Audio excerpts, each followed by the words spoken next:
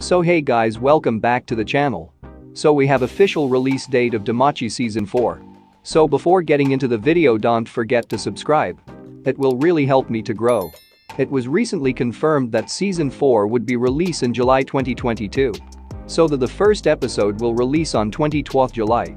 They have also released a new trailer and also a new key visual. And they have also shared some new characters visuals. You can see the key visual of Season 4. In case if you have not watched the new trailer. I will put the link of the new trailer of Season 4 in comment section. This new season will cover the Labyrinth and Water City arc. Which starts at volume 12 of the original novel.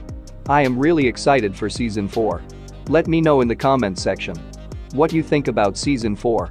If I get any new updates, I will definitely let you know. Till then see you in next video.